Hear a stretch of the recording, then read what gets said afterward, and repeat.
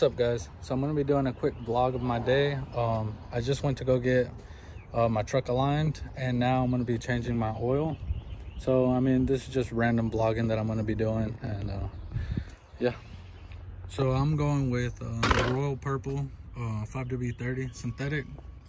Um six quarts of that and one quart of this um lucas synthetic oil stabilizer. And i usually go with the mopar filter but they didn't have that so uh, can't go wrong with the K&N.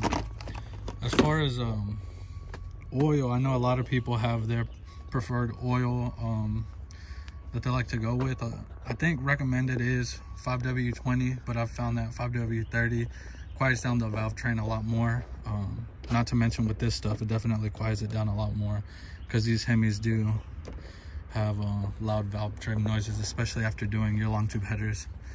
So I've found that this stuff works pretty good for me. A lot of people do recommend Redline and uh, I do want to try it. I've been forgetting to order it because they don't have that near me. So one of these days I'm going to order uh, a couple quarts of that and try that out and I'll let you guys know how that performs. All right, so I got my truck jacked up. Got a couple of jack stands in place.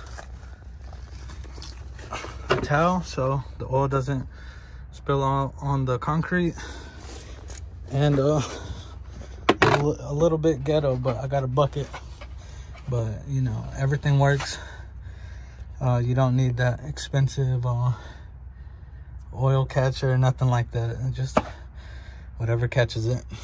So i don't plan on making this a tutorial but you know there's a lot of people out there that don't know how to change their oil so I'm gonna start off by taking that bolt off, letting that drain out for a little while.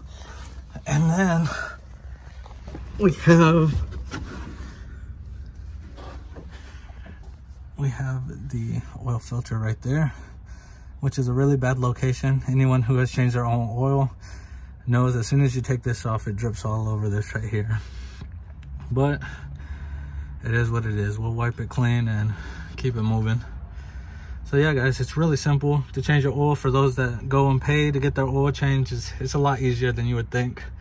Um, i always uh, take off the cap too. I feel like that helps just uh, relieve the pressure and uh, really get it flowing once you take um, the drain plug out. So.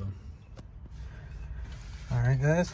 So really easy just to break it loose now that it's loose you can really just uh, spin it with your fingers and let it drain out. Might be a little hot because the truck hasn't been sitting for that long but there we go. Just let all of that drain out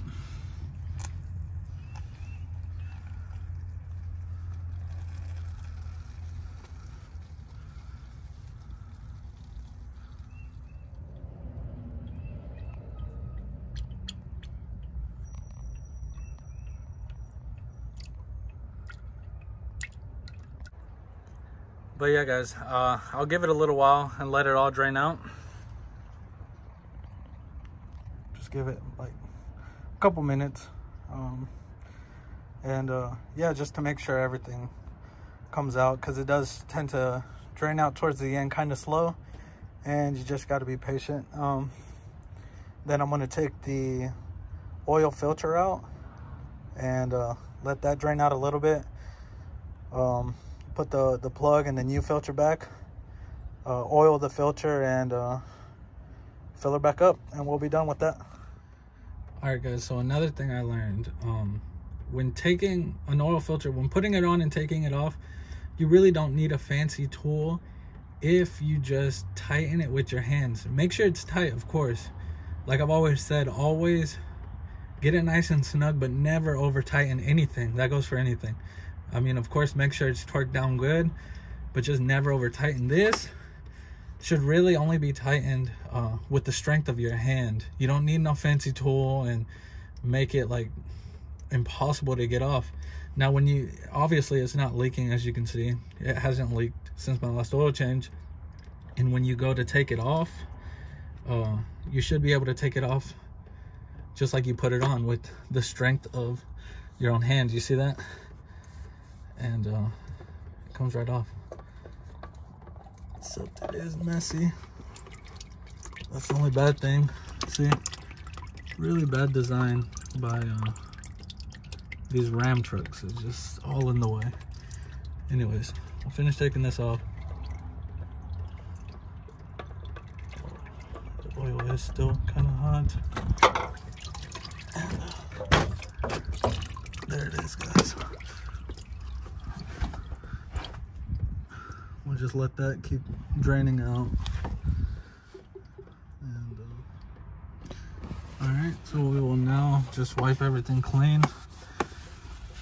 Just uh, clean it up a little bit. Make sure everything's clean.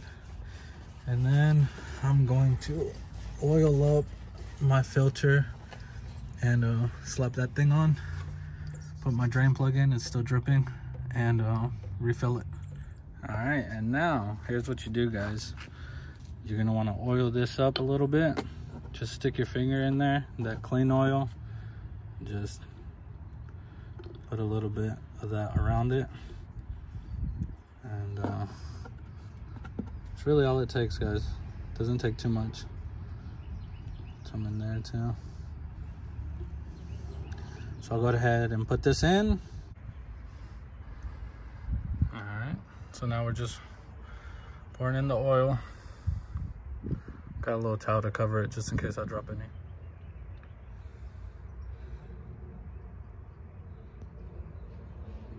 There goes the sixth quart of oil.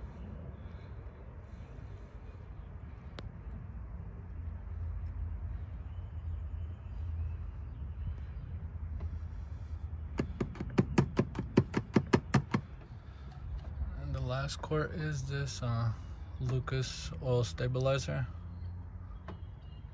You can see how thick that stuff is.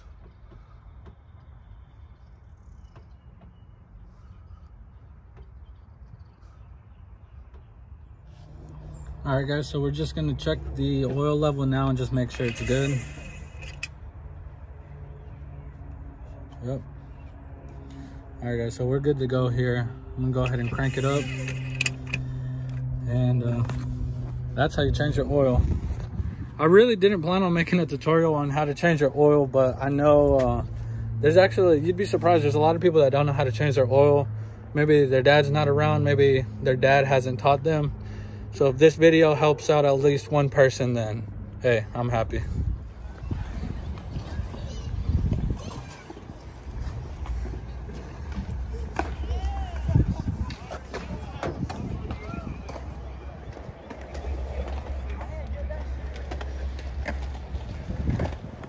All right, guys, so I'm gonna end this video with a quick session at the skate park. Uh, I already recorded it, so I'll show you guys a couple clips. Uh, here shredding it at the Durham skate park, so.